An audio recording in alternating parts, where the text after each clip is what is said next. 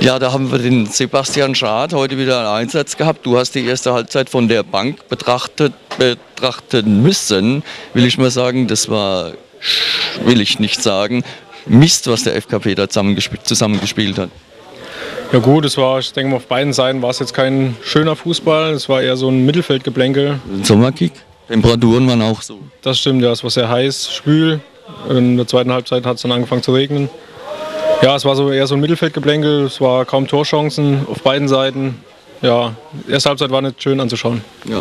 Dann war noch das 1 zu 0 gefallen, ein bisschen unglücklicher Treffer. Hauenstein hat auch nicht mehr gezeigt, muss man dazu sagen, wie der FK Pirmasens. Äh, stand 1 zu 0 zur Halbzeit. In der zweiten Halbzeit kam ihr etwas, kamt ihr etwas spritziger aus der Kabine raus. Da muss der Michael Dusek irgendwas gesagt haben wahrscheinlich. Und äh, trotzdem ist dann das 2 zu 0 gefallen durch einen Fehler von Patrick. Der hat ansonsten gut gespielt. Und ich habe dann gedacht, äh, das Spiel bei 2-0 Rückstand ist nicht mehr zu drehen. Gut, es war halt ziemlich schwer nach dem 2 zu 0, sage ich mal, aber es war jetzt nicht so, dass jetzt Hauenstein verdient 2-0 geführt hat. Wir hatten in der zweiten Halbzeit doch noch unsere Chancen, haben weiterhin nach vorne gespielt hatten dann Glück, dass Patrick äh, den, die Flanke vom Aydin reinmacht. Und nach dem 2-1 hat man gemerkt bei uns, bei allen elf, dass wir noch das Spiel drehen wollen. Und so ist es auch passiert. Ja, der Patrick hat seinen Fehler eigentlich wieder gut gemacht ja. durch den Kopfball zum 1 zu 2.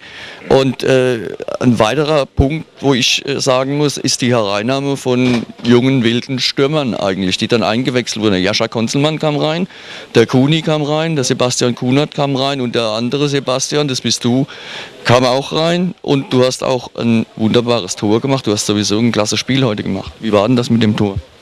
Gut mit dem Tor, das war fast so ähnlich wie in Gonsenheim, wo ähm, von, der, von der linken oder von ähm, Hauensteins rechten Seite den Ball nach innen gespielt wurde. Zu, also ungenau. Ich habe nur gesehen, der kommt da sehr wahrscheinlich nicht dran, bin dann direkt durchgelaufen, habe den Ball gut angenommen, konnte dann den Torwart rechts umlaufen und habe ihn dann reingemacht.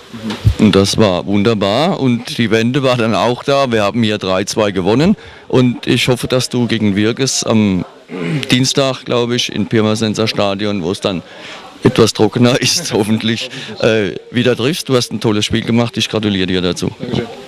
Danke.